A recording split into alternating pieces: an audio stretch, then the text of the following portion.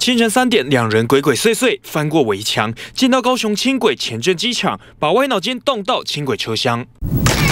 车厢上被人用红漆喷上 UKA 三个英文字母，还不止如此，其他车厢上也被分别喷上蓝漆、绿漆的涂鸦，一共两列三节车厢遭殃。晨间列车准备的时候呢，就发现说这个列车有遭到涂鸦，所以我们先把车子留下来做清洁。那大概耗费了我们相当的人力跟物力，在当天几乎有到六个小时左右。轻轨公司报案后，警方迅速逮到嫌犯，才发现犯案的不只有他。经确定之后，我们本分局立即派员将王王姓犯嫌带返分局，有另三名。犯险哦，本分局还在理清。不止轻轨，高雄捷运也成为有心人士的画布。